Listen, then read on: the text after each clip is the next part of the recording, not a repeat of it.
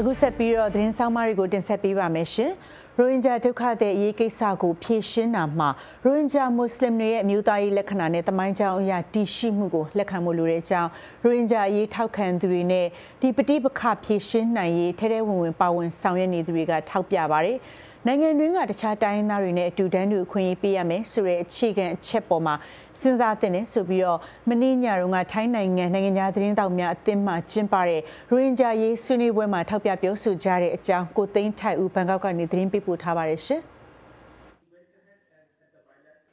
ရိုဟင်ဂျာတွေကနိုင်ငံသားခွင့်ရေးကိုမတရားညှင်းပယ်ခံထားရသူတွေဖြစ်တဲ့အတွက်သူတို့ရဲ့အခွင့်အရေးကိုပြန်တိမှတ်ပြုဖို့လိုတဲ့အကြောင်း NUG ဂျာကာလာမြို့သားညီညွတ်ရေးဆိုရလူခွင့်ရေးဝန်ကြီးဌာနရဲ့အကြံပေးဦးအောင်ကျော်မိုးကမနေ့ကဆွေးနွေးပွဲမှာပြောဆိုသွားပါတယ်2018ခုနှစ်ကမြန်မာစစ်တပ်ရဲ့ညှဉ်းပန်းနှိပ်စက်မှုတွေကြောင့်ရိုဟင်ဂျာဒုက္ခသည်တွေတိမ့်တဲ့ချီဘင်္ဂလားဒေ့ရှ်နိုင်ငံဘက်ထွက်ပြေးခဲ့တဲ့ငါးနှစ်ပြည့်အထိမ်းအမှတ်ဆွေးနွေးပွဲမနေ့ကကျင်းပတာပါ Like we often call we are stateless. No, we are not a stateless. A state belong to us ကျွန်တော်တို့နိုင်ငံမဲ့တွေလို့မကြာခဏခေါ်ခံရပါတယ်မဟုတ်ပါဘူးနိုင်ငံကကျွန်တော်တို့ကိုပိုင်တယ်လို့ကျွန်တော်တို့ကလည်းပိုင်ပါတယ်အခုဘင်္ဂလားဒေ့ရှ်နိုင်ငံကိုရောက်လာတဲ့သူတွေထဲမှာနိုင်ငံသားမှတ်ပုံတင်ကင်ထားတဲ့သူတွေရှိပါတယ်အခုအထိသိမ်းထားလို့မှာပဲသူတို့ရဲ့နိုင်ငံသားခွင့်ရေးတရားမဝင်သိမ်းခံခဲ့ရတာပါလို့ကိုအောင်ကျော်မှုပြောသွားတာပါရိုဟင်ဂျာဒုက္ခသည်အရေးကိုဖြေရှင်းရမှာသူတို့ရဲ့နိုင်ငံသားခွင့်ရေးကိုတိမှတ်ပြုဖို့လိုတယ်ဆိုတာကိုအွန်လိုင်းကပါဝင်ဆွေးနွေးတဲ့အရင်ကုလသမဂ္ဂတွင်မှုချုပ်ဟောင်းကိုဖီအာနန်ဦးဆောင်တဲ့ ရခိုင်ပြည်နယ်ရေးအကြံပေးကော်မရှင်ဖွဲ့ဝင်သူဖြစ်ခဲ့သူနယ်သာလန်နိုင်ငံဆိုင်ရာတာမတ်ကြီးအောင်လာတီတီယာဘန်ဒန်အာဆန်လည်းပါဝင်ပါတယ်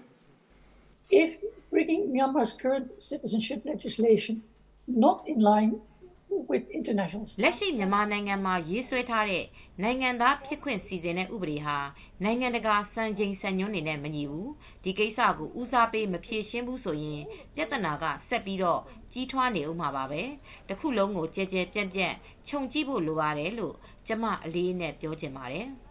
မြန်မာနိုင်ငံဘက်ကတော့ရိုဟင်ဂျာဆိုတဲ့နာမည်ကိုလက်မခံတဲ့အကြောင်းမကြာသေးခင်တုန်းကမြန်မာနိုင်ငံဆိုင်ရာကုလသမဂ္ဂအထူးကိုယ်စားလှယ်နော်လင်းဟေဇာနဲ့တွေ့ဆုံခဲ့တဲ့ စစ်ကောင်စီကြီးကဲဗိုလ်ချုပ်မှုကြီးမင်းအောင်လှိုင်ကထပ်မံပြောဆိုထားပါတယ်မြန်မာနိုင်ငံအတွင်းမှာနေထိုင်ခဲ့တဲ့ဆိုတဲ့အထောက်အထားပြနိုင်မယ်ဆိုရင်နေရရင်းမှာပြန်လည်လက်ခံမှုစီစဉ်မဲ့အကြောင်းဒါပေမဲ့လည်းဒုက္ခတွေပြန်လည်လက်ခံရေးမှာဘင်္ဂလားဒေ့ရှ်နိုင်ငံဘက်က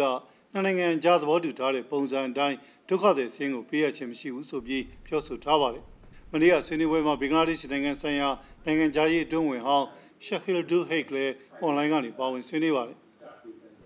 really fighting for their rights and privileges in the international community i don't know how many ကျွန်တော်တို့ကသူတို့ကိုလက်ခံထားယုံတင်မဟုတ်ပါဘူးသူတို့အခွင့်အရေးရပိုင်ခွင့်တွေအတွက်လည်းနိုင်ငံတကာအလယ်မှာတိုက်ပေးခဲ့ပါတယ်ကုလသမဂ္ဂအတွင်းမှုချုပ်အပါအဝင်နိုင်ငံခေါင်းဆောင်တွေအများအပြားတွေ့ဆုံပြီးတော့ဒီဒုက္ခသည်တွေနှိပ်စက်ညှဉ်းပန်းခံရတဲ့အကြောင်းတွေသူတို့ကိုကူညီထောက်ပံ့ပေးဖို့အကြောင်းတွေကိုဝန်ကြီးချုပ်ရှိတ်ဟာရှင်နာကိုတိုင်ထပ်ခါတလဲလဲပြောပေးနေခဲ့တာပါရိုဟင်ဂျာတွေကိုနိုင်ငံအတွင်းကလူနည်းစုတွေအဖြစ်အသိအမှတ်ပြုဖို့ကိစ္စမှာ အရင်နိုဘယ်ငြိမ်းချမ်းရေးဆုရှင်ဒေါအောင်ဆန်းစုကြည်ဦးဆောင်တဲ့ရွေးကောက်ခံဆိုရလက်ထက်မှာလည်းပြက်ကွက်ခဲ့တဲ့ဆိုပြီးရှက်ဟီဒူဟိတ်ကဝေဖန်ပြောဆိုသွားပါတယ် This is what the Bangladesh delegation has been telling them ဒါကိုဘင်္ဂလားဒေ့ရှ်ကိုယ်စားလှယ်တွေကမြန်မာနိုင်ငံကိုတစ်ချိန်လုံးပြောနေကြတာပါခင်ဗျားတို့နိုင်ငံကလူနည်းစုတွေအပေါ်မှာဘယ်လိုပြုမှုတင်လဲဆိုတာကိုပြောခဲ့တာပါသူတို့ဟာခင်ဗျားတို့နိုင်ငံသားတွေဖြစ်တယ်ဘင်္ဂလားဒေ့ရှ်နိုင်ငံကတရားမဝင်ဝင်လာတဲ့သူတွေမဟုတ်ပါဘူး ရိုဟင်ဂျာပြဿနာကိုနိုင်ငံရေးပြဿနာတရားဖြစ်မစင်စားပဲစီရေးရဖြေရှင်းခဲ့တာကြောင့်အမှားယွင်းတွေပေါ်ပေါက်ခဲ့တာလို့သူကဝေဖန်ပါတယ်တိန်းနဲ့ချီတဲ့ရိုဟင်ဂျာတွေနေရရင်းကထွက်ပြေးခဲ့တာ9နှစ်ရှိပါပြီမြန်မာနိုင်ငံပါဝင်လက်မှတ်ရေးထိုးထားတဲ့လူမျိုးတုံးတပ်ဖြတ်မှုဆိုင်ရာဒါစီရေးနိုင်ငံတကာစာချုပ်ကိုချိုးဖောက်ခဲ့တာဆိုပြီး ICJ ပြည်ပဆိုင်ရာတရားရုံးမှာဂမ်ဘီယာနိုင်ငံကမြန်မာနိုင်ငံကိုတရားစွဲဆိုထားပါတယ်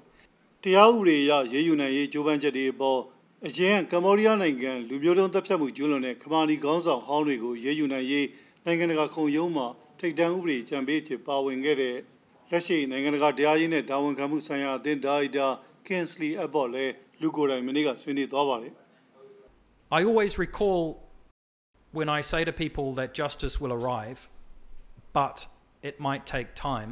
တရားဥပဒေအရရေးယူနိုင်ဖို့ဆိုတာအချိန်ကြာပါတယ်ဒါပေမဲ့ရောက်လာပါလိမ့်မယ်ဒီလိုပြောနိုင်တဲ့အကြောင်းရင်းတစ်ခုကတော့သူတို့ညင်းလို့မရတော့တဲ့အထောက်အထားတွေမြန်မာနိုင်ငံအတွင်းရဲရင်းနဲ့လူမှုအခြေပြုဖွဲ့စည်းတွေရဲ့ဆယ်စုနှစ်ချီစုဆောင်းခဲ့တဲ့အထောက်အထားတွေရှိနေပါပြီနိုင်ငံတကာအဖွဲ့အစည်းတွေရဲ့အထောက်အထားတွေတွေမဟုတ်ပါဘူးကုလသမဂ္ဂအချက်အလက်ရှာဖွေရေးအဖွဲ့တွေအထူးကိုယ်စားလှယ်လူ့ခွင့်ရေးဆိုင်ရာကုလသမဂ္ဂမဟာမင်းကြီးရုံးနဲ့လူငင်းချမ်းသာခွင့်အဖွဲ့ကြီးလိုလူ့ခွင့်ရေးအဖွဲ့တွေရဲ့လှုပ်ဆောင်ချက်တွေပါ မနေ့ကထိုင်းနိုင်ငံနိုင်ငံခြားသတင်းတောက်များအသင်းမှကျင်းပတဲ့ရိုဟင်ဂျာအရေးဆွေးနွေးပွဲမှာဘင်္ဂလားဒေ့ရှ်နိုင်ငံဘက်ကထွက်ပြေးလာတဲ့လှေစီးပြေးဒုက္ခသည်တွေကိုကူညီပေးနေတဲ့ထိုင်းနိုင်ငံခြေစိုက်ရိုဟင်ဂျာ Base Network ကဟာဂျီအစ်မေးလည်းလာရောက်ပါတယ်မြန်မာနိုင်ငံမှာနေပေါင်းများစွာရပ်တည်နေထိုင်ခဲ့တဲ့အခွင့်အရေးတွေပြစ်ပယ်ခံခဲ့ရတယ်လို့သူက VOA ကိုပြောပါတယ်ကျွန်တော်တို့ကဗမာပြည်မှာမွေးတယ်မြန်မာနိုင်ငံမှာကျွန်တော်မွေးတယ်ကျွန်တော်အပေလည်းမြန်မာနိုင်ငံမှာပဲမွေးတယ် ကျွန်တော်အဖိုးလည်းမြန်မာနိုင်ငံမှာလည်းမွေးတယ်နောက်ပြီးတော့ကျွန်တော်အပေရောအဖိုးရောအကုန်လုံးကဟိုဗာလဲ government service လုပ်ခဲ့တဲ့လူတွေပဲကျွန်တော်အပေလေးကျောင်းဆရာကျွန်တော်အဖိုးလေးကျောင်းဆရာအဖိုးရဲ့အပေလေးကျောင်းဆရာအဲ့ဒါကျွန်တော်တို့ကဒီမြန်မာနိုင်ငံပေါ်မှာတိတ်ဆာရှိတဲ့ကျွန်တော်မြန်မာနိုင်ငံကိုပြန်ရှင်တဲ့ဒါပေမဲ့အခုလောလောဆယ် DSC မှာ life safety မရှိဘူး safety မရှိဘူး dignity မရှိဘူးကိုယ်ရဆက်ဆိုင်တဲ့အတွက်ကြောင့်မလို့ကျွန်တော်တို့ကပြန်လို့မရတာတကယ်လို့ လူသားတစ်ယောက်ရတင်တဲ့အခွင့်အရေးကိုကျွန်တော်ရတယ်ဆိုရင်ကျွန်တော်လည်းပြန်မှာပဲတိန်းနဲ့ချီတဲ့ရိုဟင်ဂျာတွေနေရက်ကနေထွက်ပြေးခဲ့တဲ့9နှစ်ပြည့်အချိန်ဖြစ်တာကြောင့်ရိုဟင်ဂျာရေးဟာနိုင်ငံတကာအလဲမှာဘယ်တော့မှမရခဲ့ဘူးတဲ့အထူးအာရုံစိုက်ခံရတဲ့အရေးကိစ္စတစ်ခုဖြစ်နေပါတယ်။ဒါပေမဲ့လည်းသူတို့ရပိုင်ခွင့်သူတို့ရဲ့ရက်တီခွင့်နေရက်ပြန်ခွင့်တွေကကမ္ဘာအင်အားကြီးနိုင်ငံတွေဦးစားပေးနေကြတဲ့တခြားအကြောင်းအရာတွေကြားမှာ